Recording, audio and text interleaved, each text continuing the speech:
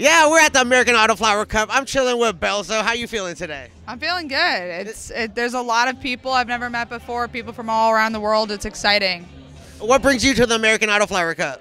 Uh, just being excited to be on a different side of I think the cannabis industry. I'm very like brand facing, so it's you know it's cool to connect with people who are growing the stuff that we smoke and we sell and we market. So Have you had any experience with Autoflower before this cup, or I hadn't, um, but you know, I've been around a lot of these growers and these breeders, and they're really passionate about it. And I think it's, you know, especially with cannabis being more mainstream and people maybe wanting to grow more at home, I think it's definitely like a at-home grower starter type of situation, right? yeah? Have you tried any of the Autoflowers? Any of the entries? No. Oh, yes, I, I have. I couldn't say that I've been, you know, judging like they are, but you know, I've been around all the judges, smoking a lot of what they've been smoking. And I think the biggest thing for us was that there's a lot of stuff that smells good and looks good, but isn't necessarily smoke good, which is really intriguing. So, And was it smoking? yeah.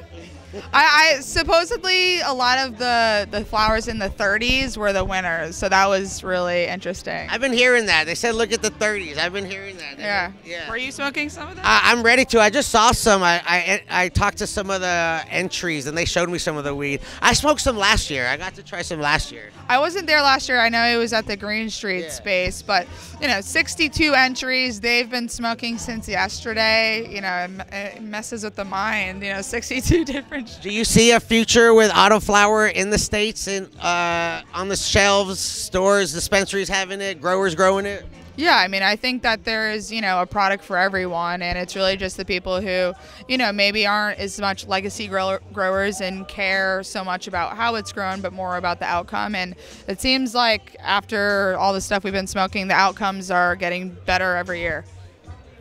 They are. I've seen. Uh, uh, it's like with the different genetics, they make the Autoflower a little bit better. So I'm excited to see the future of Autoflower.